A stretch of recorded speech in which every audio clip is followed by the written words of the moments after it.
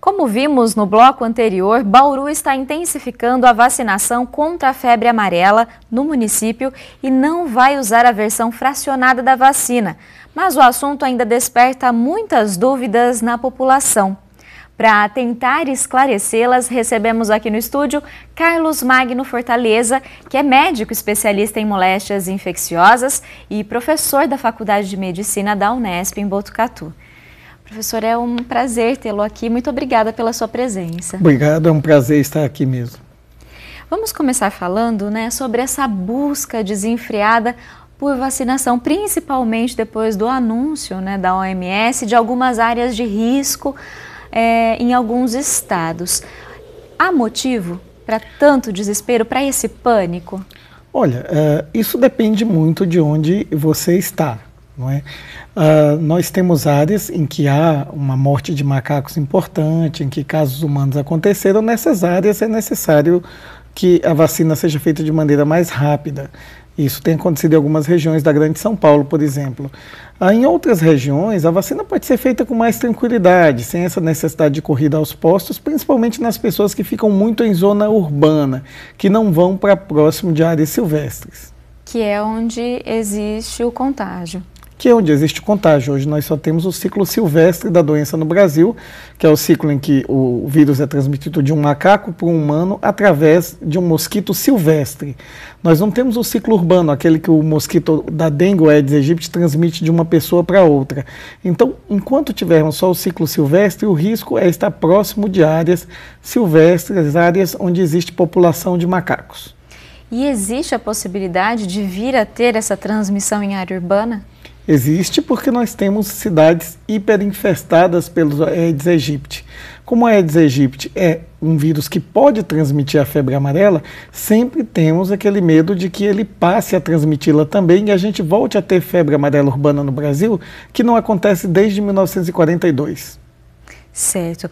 Agora, uma questão que tem gerado também bastante dúvida é em relação à dose fracionada da vacina. Qual que é a diferença dela da vacina convencional e por que, que ela é utilizada em algumas situações? É preciso entender uma questão. A dose atualmente utilizada da vacina foi determinada muitas décadas atrás, no começo do século XX, e nunca se mudou essa dose, sempre continuou sendo a mesma dose aplicada.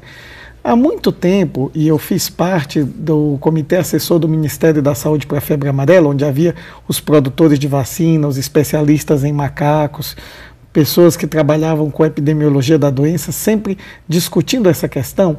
Então, há muito tempo, cerca de 10 anos, já havia indícios de que uma dose cinco vezes menor da vacina funcionaria tão bem quanto a dose inteira.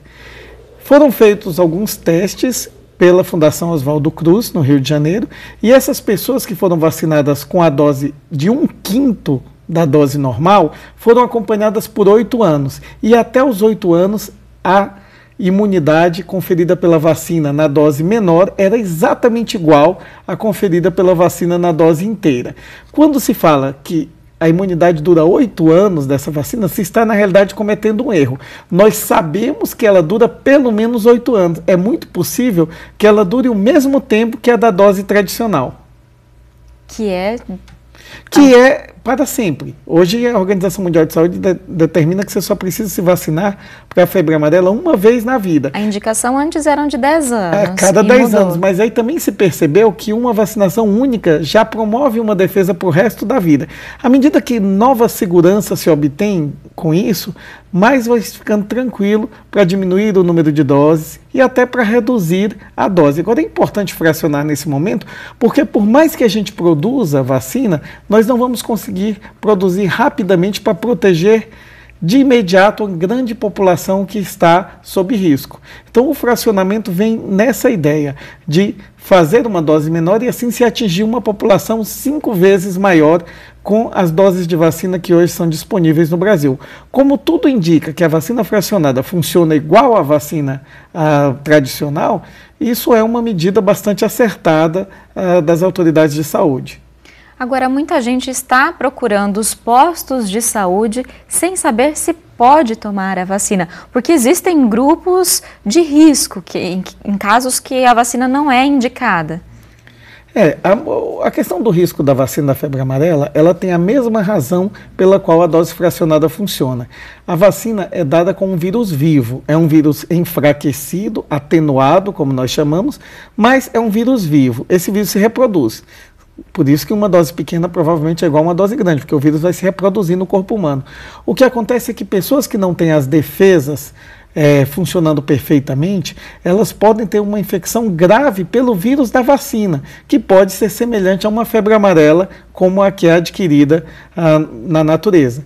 Então, ah, pessoas com problemas de defesas, de imunidade muito sérios, como pessoas com HIV que têm a imunidade muito ruim, as que têm HIV, mas têm imunidade boa, ainda podem. Pessoas que tomam é, quimioterapia, drogas que mexem com a imunidade, medicações para doenças reumáticas, por exemplo, e as gestantes, pelo risco de transmitir para o feto e o feto poder ter alguma alteração. Então, esses são grupos que não devem ser vacinados. Quanto aos idosos, observou-se que idosos têm mais risco de reação grave que as pessoas jovens. Então, é o que nós chamamos de contraindicação relativa. Quando nós estamos diante de um idoso, nós pesamos se o risco que aquele idoso tem é maior da febre amarela ou o risco é maior da vacina, antes de tomar a decisão de vaciná-lo. E aí, nesses casos, há outras formas de se prevenir contra a febre amarela? Sim, é, uma das formas, naturalmente, se é possível, é não é, ir para locais onde existem matas, populações de macacos, quer dizer, permanecer na zona urbana. Quando isso não é possível, o uso de repelentes é sempre indicado, exatamente para evitar que esses mosquitos de área silvestre acabem picando e transmitindo a febre amarela. Aproveitando que você citou a população de macacos, ainda existe muita confusão né, no que diz respeito à transmissão. Né? Muita gente ainda acredita que o macaco transmite a doença. Vamos esclarecer esse ponto específico? Sim, na realidade, o macaco ele é a fonte da doença que mantém a permanência dela na natureza. E atualmente as transmissões têm sido feitas de fato de macacos para seres humanos. No entanto, ah, não adianta sair por aí matando o macaco. Primeiro, porque a população de macaco é gigante, ninguém matará todos os macacos. Segundo, porque desde que se entendeu que antes de começar a morrer pessoas de febre amarela, começam a morrer macacos, a vigilância da morte de macacos passou a ser um importante marcador para risco de febre amarela. Então, todo lugar onde se está vendo morte de macacos, se faz uma intensificação da vacina para febre amarela. Então, os macacos são excelentes sentinelas. É importante deixar a população de macacos ali onde ela está, para que exatamente ela nos sinalize onde e quando os casos de febre amarela podem acontecer. Um exemplo claro é a Grande São Paulo. Antes de começar a haver casos humanos, o que, que houve? Houve morte de macacos no Horto Florestal, na Serra da Cantareira, em lugares onde é, existe uma população grande desses primatas. Isso fez com que só de antes que acontecessem os primeiros casos humanos, já 2 milhões e 500 mil pessoas fossem vacinadas de pronto. Né? Agora que os casos estão mais disseminados pela Grande São Paulo, aí é uma necessidade de uma operação de guerra para vacinar todos os demais habitantes, quer dizer, 20 milhões de pessoas que residem em São Paulo e naquelas cidades da zona metropolitana.